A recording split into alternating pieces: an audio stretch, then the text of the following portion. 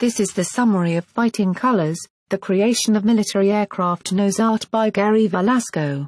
Since the early days of flight, military pilots have personalized aircraft with artistic creations, giving each plane a unique identity and air crews a sense of pride in their warbird. This comprehensive volume covers the technical aspect on how nose art was applied to vintage military aircraft, with hundreds of fighters and bombers pictured. The uses of materials, supplies, and development of nose art designs are discussed with surviving nose artists. The author examines and analyzes WWII era photographs and reveals their content along with numerous photos never before published. Recreating step-by-step flying warbird nose art restorations is outlined for the first time.